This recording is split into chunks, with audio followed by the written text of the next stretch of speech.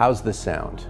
A night of great champagne and fried chicken. Believe me, this is a home run food and wine pairing opportunity. We're pairing up Jim Dandy, South Central's classic fried chicken, up against Howlin' Ray's from downtown LA. We're gonna start off the night with a bunch of non-vintage wines, blind. You get to taste them and figure out which one you like the best. We're gonna show you some of the great vintage champagnes. And we're gonna taste these again blind, seeing what you like, and we'll unveil them one at a time. And then we move into the top end. We call them the head cuvées or the tête de cuvée. Top champagnes like Taittinger's Comte de Champagne, Blanc de Blanc from the 2004 vintage valued at around $150. Dom Perignon, valued close to $300.